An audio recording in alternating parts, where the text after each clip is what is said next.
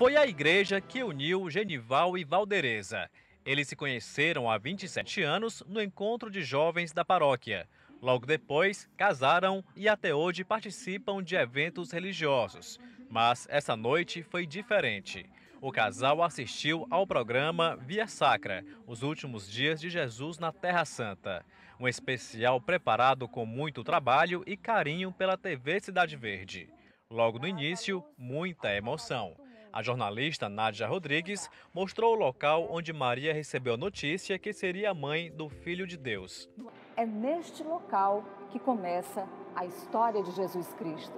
Foi exatamente aqui que Maria recebeu a visita do anjo Gabriel. Ela morava com seus pais quando o anjo chegou e disse: Maria, darás a luz ao Salvador do mundo. Neste lugar, o Verbo se fez carne. A equipe da TV Cidade Verde percorreu várias cidades da Terra Santa por onde Jesus viveu.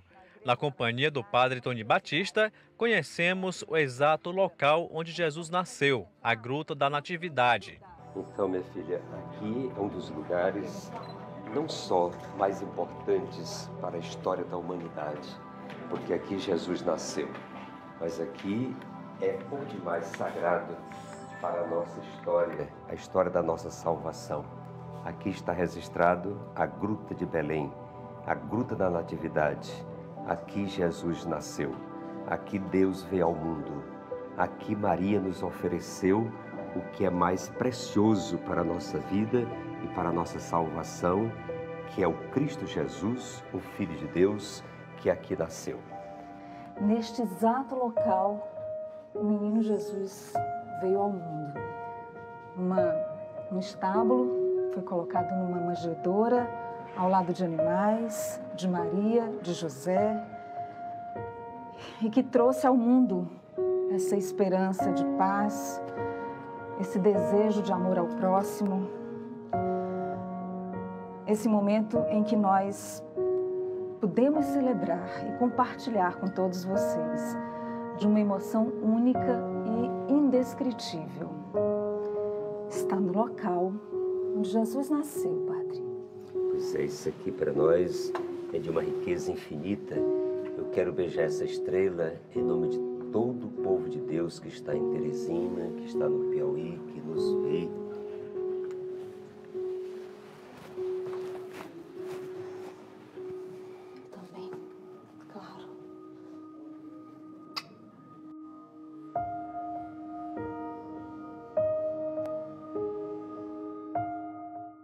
O programa especial mostrou detalhes nunca exibidos antes por uma TV piauiense.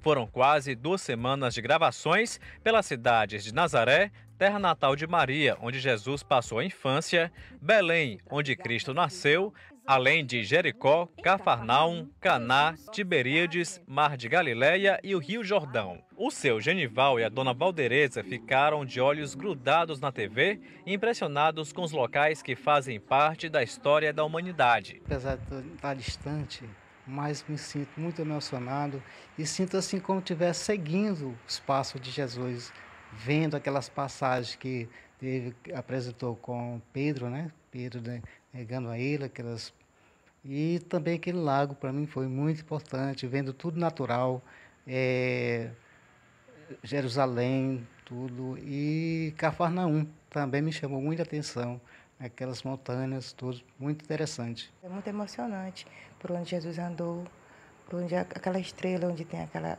né, onde Jesus nasceu ali. Então é muito, é muito emocionante. A arquitetura dos locais visitados ajuda a contar a história. Cada detalhe traz lembranças da palavra de Deus e dos ensinamentos de Jesus.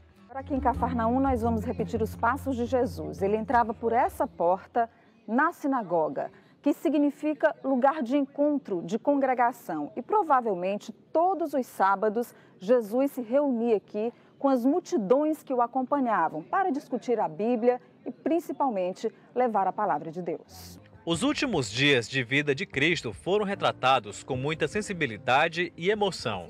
Passo a passo, mostramos como foi o exílio de Jesus no deserto da Judéia, a chegada a Jerusalém, as estações da Via Crucis e a Basílica do Santo Sepulcro. O casal nunca teve a oportunidade de visitar a Terra Santa, mas diz estar feliz com a exibição do programa especial.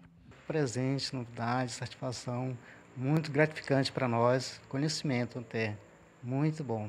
Agradeço de coração. Para gente, para as pessoas que não vão lá, que nunca tem aquela oportunidade de ir, mas está vendo a televisão, é um momento de reflexão também para todos nós, para todo mundo.